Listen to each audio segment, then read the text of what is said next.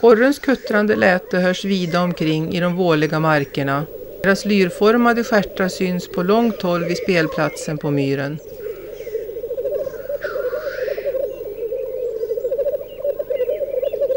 En delikatess för hönorna är de färska tallskotten.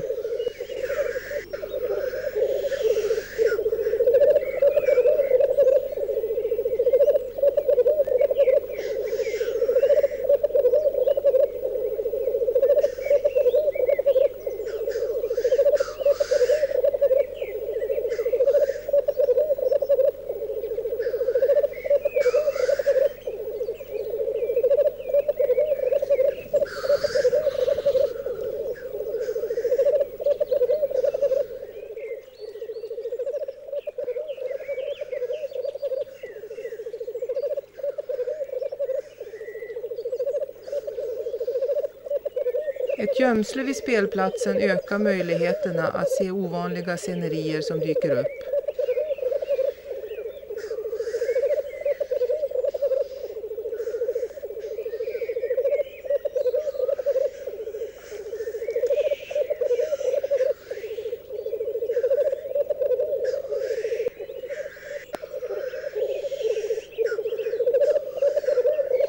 Orren får oväntat besök av ett tranpar som också hör hemma i den här miljön.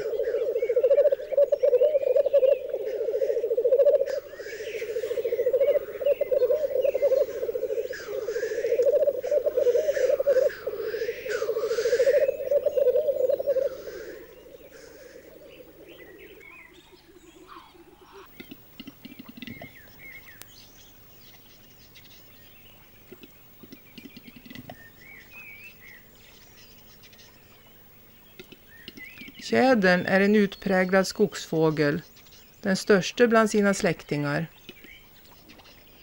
Det trollska spelet i den mörka skogen har alltid fascinerat människan genom tiderna.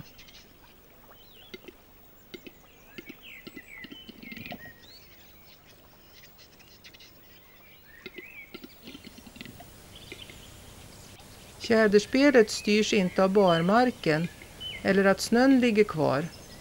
Aprilmånaden är höjdpunkten för spelet, oberoende av väderleken. Att de tre kompatanterna ryker ihop med ett riktigt slagsmål hör inte till vanligheterna.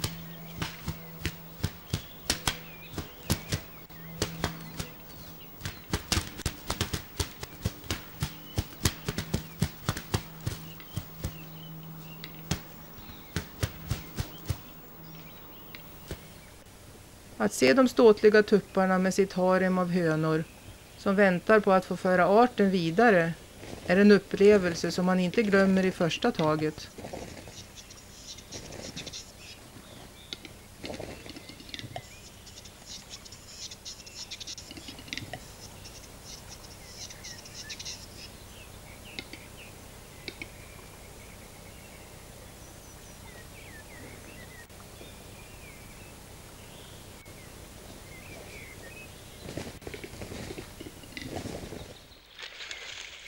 I den lilla kärnen vid skogsbrynet har smålommarna samlats.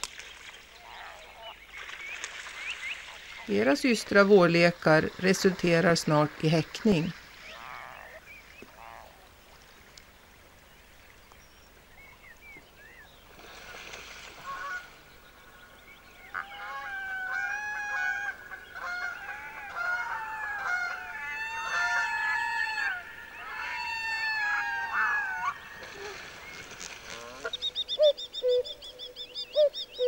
Gökens härliga kokande hörs vida omkring i de tidiga morgontimmarna.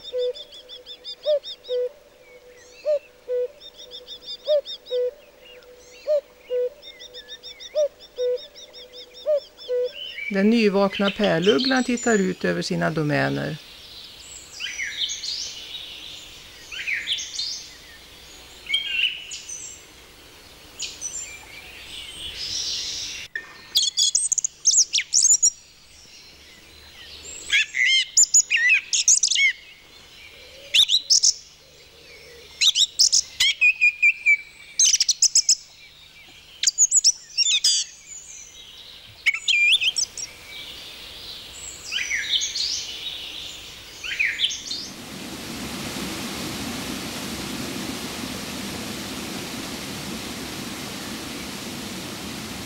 Strömstaren har valt att bygga sitt bo vid ett litet fall i den slingrande skogsbäcken.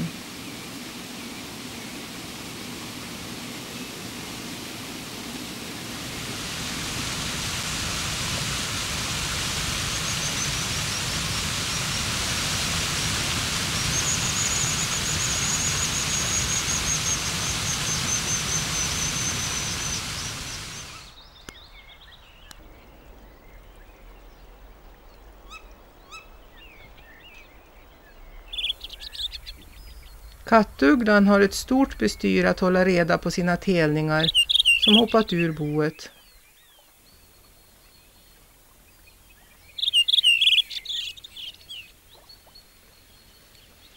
Orkidén trivs bäst i barrskogens sanka mark där den förgyller naturen.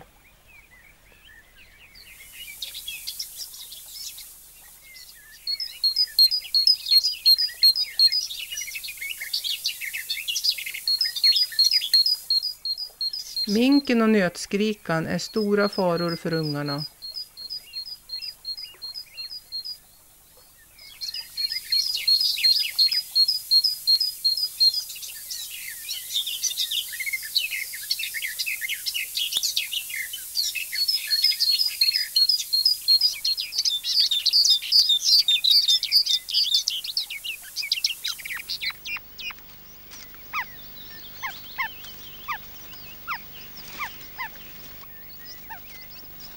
Järphönan har besvär att föra sina nio kycklingar i säkerhet.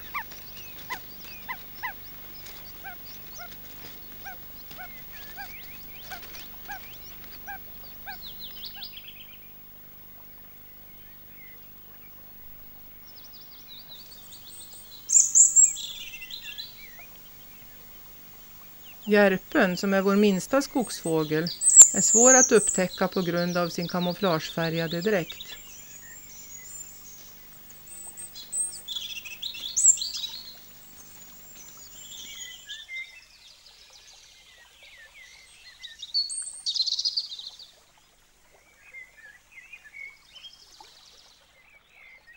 I sällsynta fall kan även den mäktiga lappugglan häcka i hälsingeskogarna.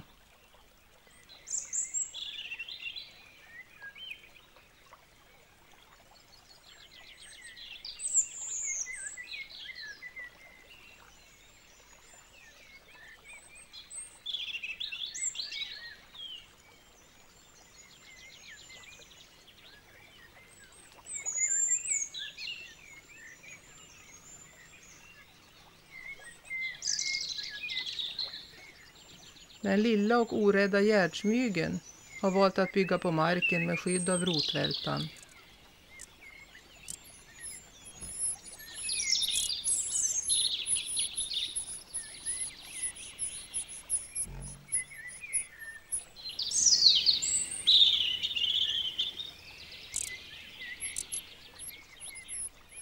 Guckuskon trivs bäst i granskogen där marken är kalkrik.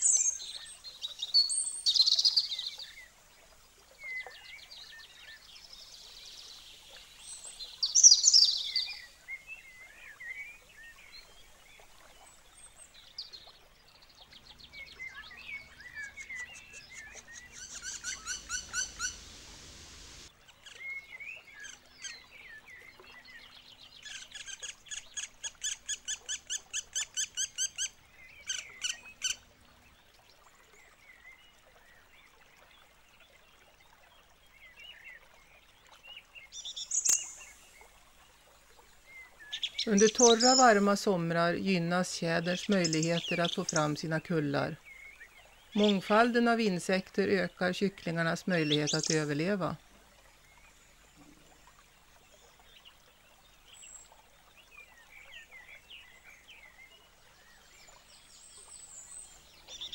Medan ungarna tränar sina fötter och vingar vakar mamman över omgivningen. Tjäderhönan lämnar boet några timmar efter kläckningen. Med ett svagt lockande läte får hon de sina med sig ut i de okända markerna med vad det innebär av faror och äventyr.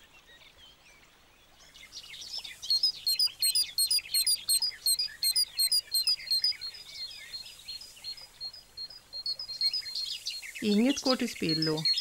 Insekter och möss ser till att äggskalen äts upp.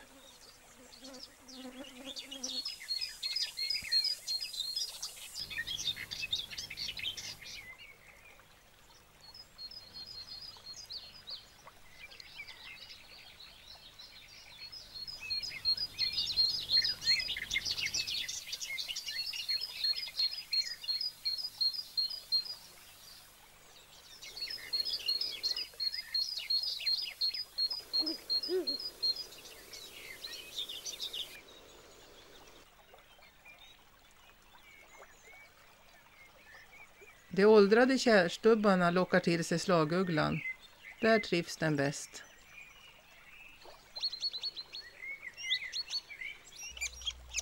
Den större hackspetten ställer inte så stora krav på boträd, men är till nytta för andra fåglar eftersom nästa häckning i trädet kan vara en sparvuggla. En av skogsfåglarnas största fiender är räven. På menyn står gärna ägg och kycklingar. Men så är ju naturen.